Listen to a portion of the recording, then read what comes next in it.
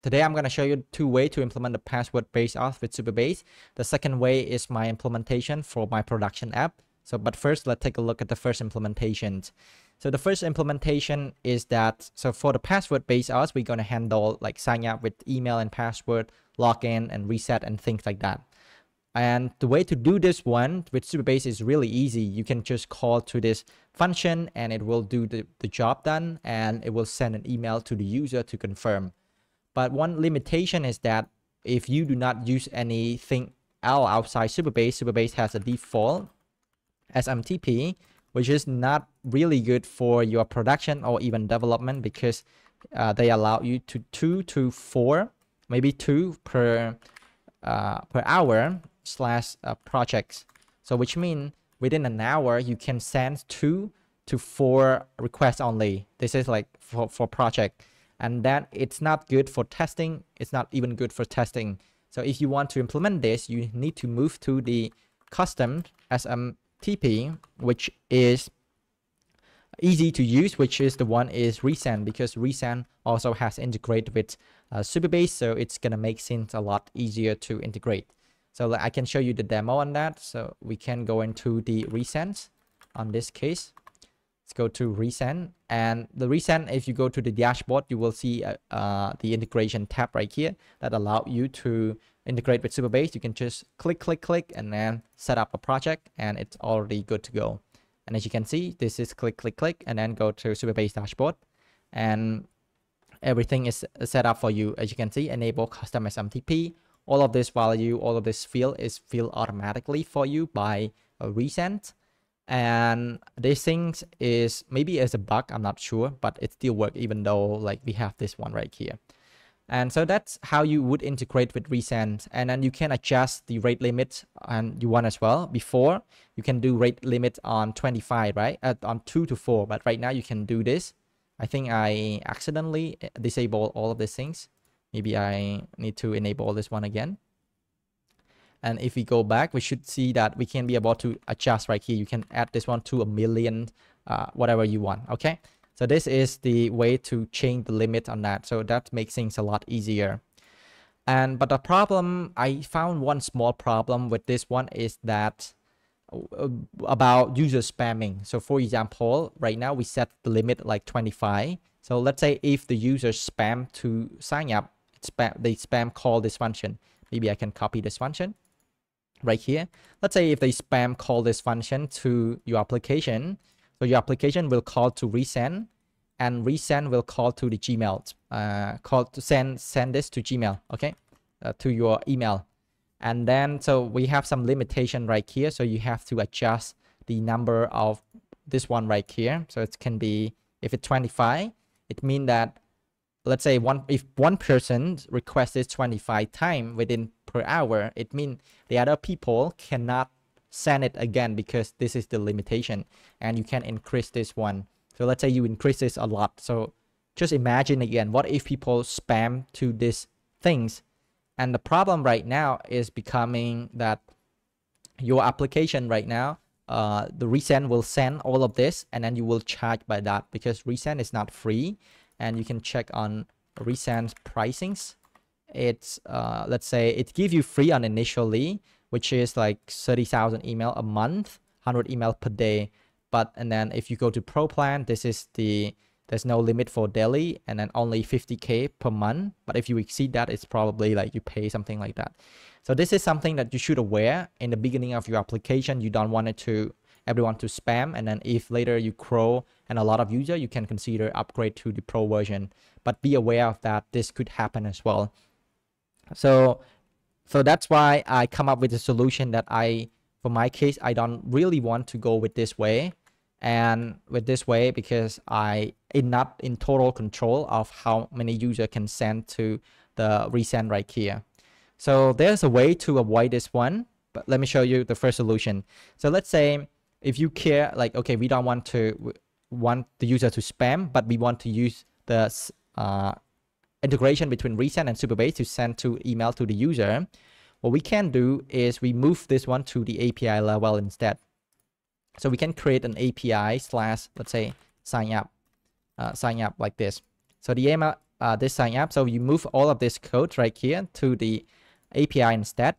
And then the reason that we do with an API level is because right now we could do rate limit on this one, like rate limit on the number of user can call to our API.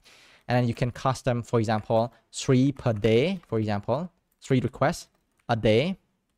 And so that, so it means the user can, uh, one user, one IP address, because we rate limit this one on IP.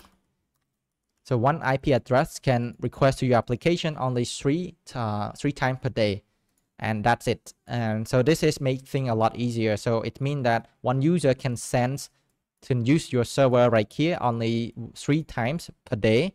So the the request to resend and resend send this one is going to be low. And that is one solution that you can uh, think of. Be uh, and but there's uh, not but this approach is also can bypass as well if you think this is safe. There's uh that the user can bypass this approach as well. I think one of the flaw on this approach is all of the thing that I mentioned is that if you care about the user spam to your SMTP, is that the user can grab all your key, which is this key right here.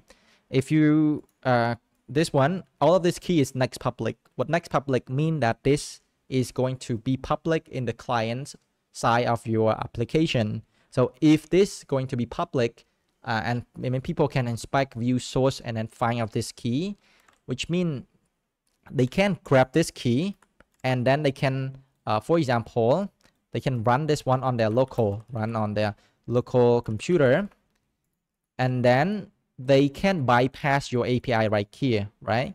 And then they can just call this code directly. But if they call to this code, when they call to this code, it's just a call to your Supabase project and create a user there.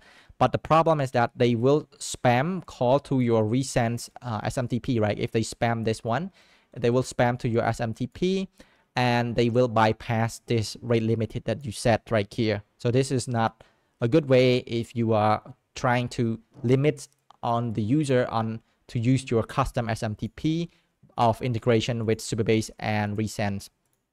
Don't get me wrong, like the, the approach right here is actually really um, easy and simple to use and you don't really have to care too much. But if you like me, I would care too much like the user, the, the possibility of the user that's going to exploit your application and do something that I mentioned about.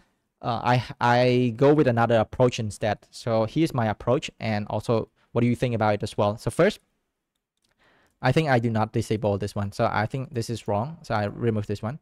Uh, so first, we going to use the Supabase key. We use the Supabase admin key.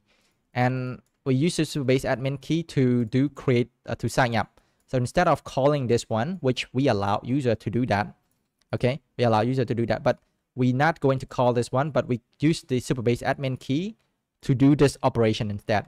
So if you look at my API right here, I use the Supabase admin to generate a link. The type is sign up. So I think the type right here, you can do a lot of types and you can see we have invite magic link or password recovery you can do that with the admin so after you do this it will send it will have a link and when you get a link that from the response from here you can uh, use that link use that link and then call uh, and then call resends right here call resends right here so which means that everything is in control you use the you call resend by your own at first approach, you can just call to this function and this function call to Supabase and Supabase will do the uh, integration with Resend. So it's automatically for you. But in our case, we do that by ourselves. So the send right here, we do uh, by ourselves. And on top of that, since this is our own API, we can do the rate limit on top right here. We can do whatever we want. Let's say three per day, three requests per day. And so this is, even though the user have access all of this one, they can call to this one, they can call to this one, but the rate limit on this one is going to be uh, default to this one. So I'm going, if I go to with that approach that I mentioned, so first for the email provider right here, the custom right here, I would disable this. Okay, I would disable this. And as you can see right now, this one is also disabled and there's all the, the user can abuse this one.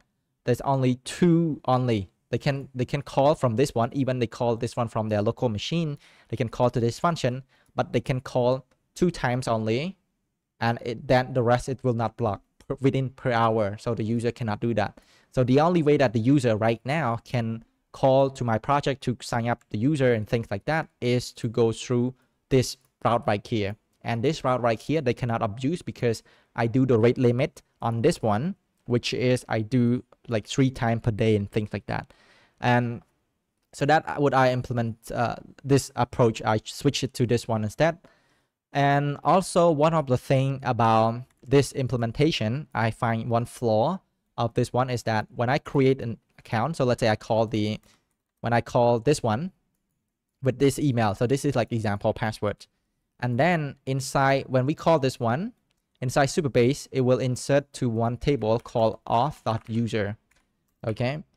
And this one, it will have the record of this one. So let's say I'm going to move it right here. So we will have an email and a password.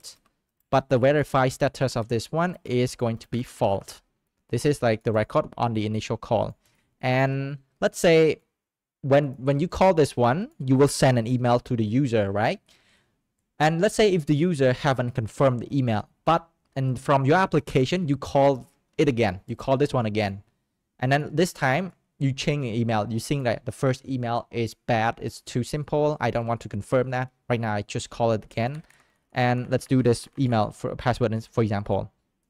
And it will, this one, it will send to your Gmail. And when you confirm that, it actually update this one to false. So this one, it will up, uh, not for update this one to true. So which means that your password is the same from the last, uh, from the first request. It's not updating on from based on the last request. You can check this one on your own. Uh, that I tested today and it, it and it worked like that. So it's a bit annoying that I just know that this way because I thought that if I haven't confirmed the email and I send a request again, this should take this this should uh, the email he should uh, the password he should be the one to use right? But actually like the first request is the one that is being used. And the way to bypass this uh, this one i found a thread on reddit that some people have the same problem as well and so he creating like the workaround which is like the update unverified account right here i leave the link so you can go ahead and read this one and i haven't tested by myself yet and so I do not know, but I think I think it's work. I think it's work, and I put the link, and so that's one way is like it's really headaches to do. So I think for me, the way to bypass this one, I think I would say right now is just to based on the implementation on this one, I would do I check if the user is already exists or not. So basically, if like even if verify or not, so verify fail or not. So it doesn't it doesn't matter. I just to check if the email is already exists. Maybe user email already exists. If it already exists, I want them to I prompt them. Let's say, hey, your email is already exists. Maybe you can take a look at your Gmail to confirm it. And if it's uh you know pass, uh, is it like bypass and sync it's like invalid anymore maybe you can reset because your account is already exists so they can reset their password instead so when they reset a password, we will send them an email so they can confirm on that and then it, the process is the same. So this is what I would do to bypass the problem that I have here. I would try that. I haven't tried it yet. So, or maybe I can opt in to use one of the function that mentioned in this thread right here. I well, I would try to test that out as well. So yeah, that's uh, what I'm going to do because currently I'm working on one of the projects, which is called Nextbase it is to speed up your Supabase app. So um, I wanted to create like a boilerplate for some of you who want to use Supabase uh, with your project and you don't will have to care and go through all of this scenario and like I mentioned before because all of this one I face it and I don't want to go this I implement I go through this approach and so that's why I create this project. So you can just clone it and use it for production ready. So this is what I want and for myself and if you find useful it's gonna be for you guys as well. Currently it just i just finished the login and the uh, sign up. I test this one. I don't like it. That's why right now i move to this new approach right here which i haven't finished it yet. I will let you know when I finish this project right here. So yeah, that's all I wanted to share with you guys. And that uh, maybe this video is kind of a bit too long. Uh, and but hopefully you learned something. Hopefully it's useful. That's what I'm trying to do is try to be useful. And uh, thank you for watching. Don't forget to subscribe. See you in the next video.